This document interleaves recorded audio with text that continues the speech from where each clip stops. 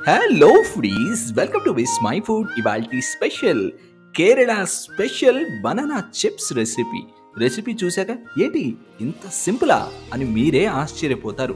Special tips tricks ఏమీ లేవు అవసరం లేదు.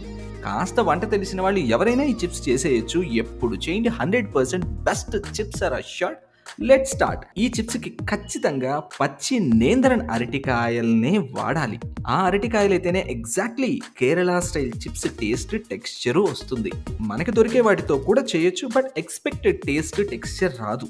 ఇంకో ముఖ్యమైన విషయం ఈ అరటికాయలు ఖచ్చితంగా గట్టిగా పరమపచ్చిగా ఉండి తీరాలి. అప్పుడే చిప్స్కి పర్ఫెక్ట్గా సెట్ అవుతుంది. ఇప్పుడు నేంద్రన్ అరటికాయల తొడిమ చివరన కట్ చేయండి ముందుగా. ఆ తర్వాత చూడండి ఇక్కడ గ్రీన్ కలర్ ఉంది చూసారా? అరటికాయ మీద. దాని దగ్గర మాత్రమే ఓ ఘాటు పెట్టండి చివరి కంట. ఆ తర్వాత ఘాటు దగ్గర లాగితే ముక్కలు ముక్కలుగా విడిపోతుంది అరటికాయ పైన తోలు. ఇలా అరటికాయ తోలు తీసుకున్న వెంటనే నీళ్ళలో వేసి కాసేపు అలా ఉంచండి. ఇలాగే మిగిలినవన్నీ చేయండి. ఇప్పుడు ఓ బౌల్లో ఓ టీ స్పూన్ పసుపు ఓ టేబుల్ స్పూన్ ఉప్పు పావు కప్పు నీళ్ళు పోసి కలిపి పక్కన ఉంచండి ఇప్పుడు బాగా నూనెని మరిగించండి. నూనె మరిగిన తర్వాత మంటని పూర్తిగా తగ్గించండి. ఆ తర్వాత నీళ్ళలో ఉంచిన అరటికాయని తీసి ఇలాంటి చిప్స్ స్లైసర్ అనుకు దొరుకుతుంది. ఆ స్లైసర్ పైన పెట్టి అలా తురుముకుంటూ వెళ్ళండి.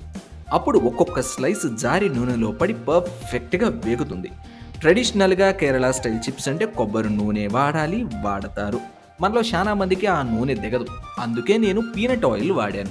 నచ్చితే మీరు కోకోనట్ ఆయిల్తో చేసుకోవచ్చు. ఇంకో ముఖ్యమైన విషయం ఏంటంటే బనానా చిప్స్కి ఖచ్చితంగా ఇలా నూనె పైన పెట్టి తురమాల్సిందే. అప్పుడే ఒకదానికి మరొకటి అంటుకోకుండా పర్ఫెక్ట్గా వస్తుంది. అసలు మామూలుగా తురిమితే ఎలా ఉంటుందో వీడియో చివరన డీటెయిల్డ్గా చెప్పాను నేను.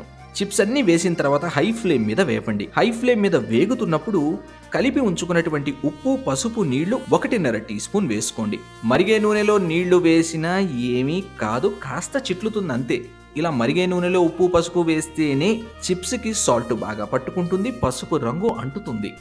చిప్స్ ఎందాక వేగాలంటే చిప్స్ వేగి వేగి నూనెలో బుడగలు తగ్గేంత వరకు ఫ్రై చేయండి.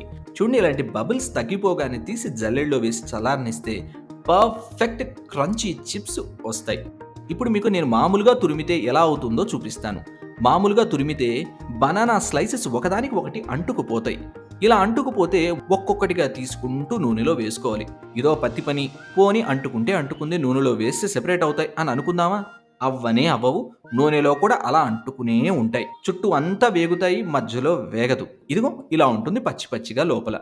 సో వేడి నూనెలో నేంద్రన్ బనానాని డైరెక్ట్గా తురిమితే ఇలాంటి క్రిస్పీ క్రంచీ బనానా చిప్స్ వస్తాయి. ఇవి మీకు నెల రోజుల పైన నిలవ ఉంటాయి. నచ్చిందా? Perfect Kerala banana chips recipe. అయితే డీటెయిల్డ్గా రెసిపీని చదువుకుంటూ చేయడానికి Vismai food dot com website visit చేయండి.